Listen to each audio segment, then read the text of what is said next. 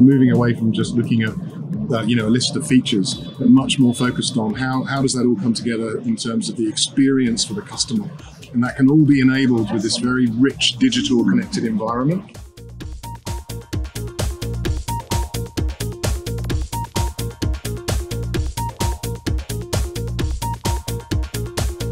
So for the full year of uh, 2021, yeah, we are very confident. Uh, I can tell you that uh, we really produce at the maximum uh, here in China. So we look forward also to a very successful production.